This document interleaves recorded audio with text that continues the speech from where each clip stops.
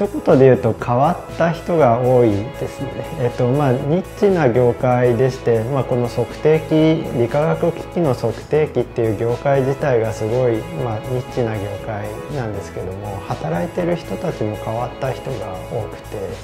て、でまあそんな中であの特に一人一人がですね、あの少数制っていう形であのみんな技能に長けた人がいて。であの切磋琢磨しながらちょっとお互いのいいところをこう認め合って仕事してるっていうような形ですね。そういうところはすごい好きですね。えー、私は技術部開発課に所属しておりまして、えー、主にですね弊社の主力製品であるドロップマスター接触角系ですね。そちらのメカ設計を行っております。え 3D CAD を用いましてモデルを作った後そのモデルを図面化するというような作業をしております。弊社大きな企業大企業と取引をしておりますのでそのような企業に、えー、設計したものが出荷されるところにやりがいを感じております。はい、えーと、製品のあの電子回路設計をしております。あの当社では製品の電子回路設計と一言に言ってもあの幅広いことをやっておりまして、えー、まあ、装置の構想からあの電子回路の設計あと基板のアートワーク設計、えー、と電子部品の選定あと手配あとは基板に実装したりとかあとマイコンのプログラムまでやったりあの製品の試作から量産まで幅広くやっております。えっと、時にはお客様のところに訪問させていただいてで、まあ、お客様のあの、まあ、不具合であったりとかあとはこう要望に応えるためにあの聞き取りをして設計変更したりとかあまあ、そういうことをやってるんですけどお客様からですね直にこう感謝の気持ちをあのありがとうございますって言われた時は非常にあの嬉しいですね。はいえー、主に、えーと、開発や、えー、整備、えー、特注の仕事があります。えーと、この3つの仕事が、まあ、大きな3本柱みたいになってるんですけども、えーと、開発に関しては、まあ、次世代に向けての商品開発であったりとかあと今ある商品のマイナーチェンジであったりとか多種多様にやっています。で次に整備に関してなんですけれども整備に関しては、えーまあ、今ある商品を継続的に販売するっていうところで、まあ、設計に携わっ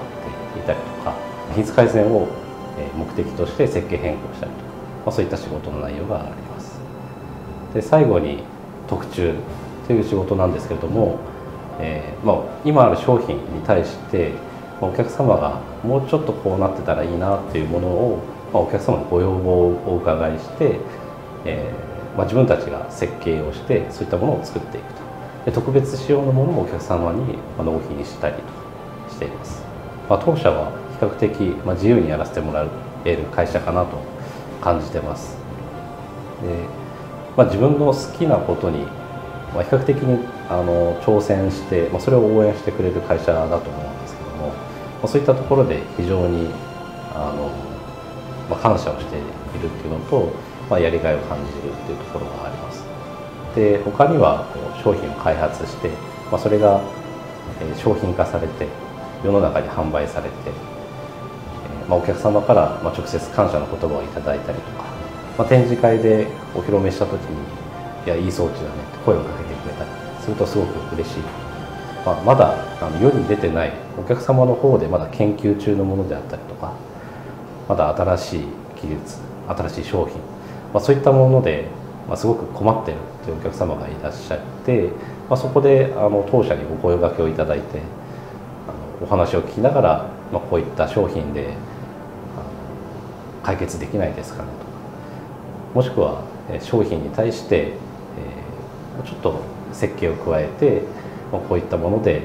あの何かご協力できないでしょうかというところでお話しさせていただいく場面もあります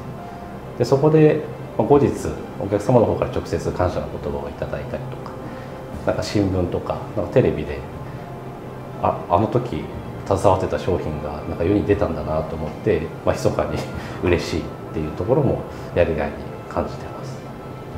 技術部ソフトソリューションに所属し、えーと、接触覚系のソフトウェアフェーマスを担当しています、えーと、新機能であったり修正不具合修正や動作確認問い合わせ対応取扱説明書の修正などを行っております。チームメイトがとても頼もしいので、えーと、業務に集中することができています。今は械の担当の方や電気の担当の方と一緒に開発できるのがとても楽しいです。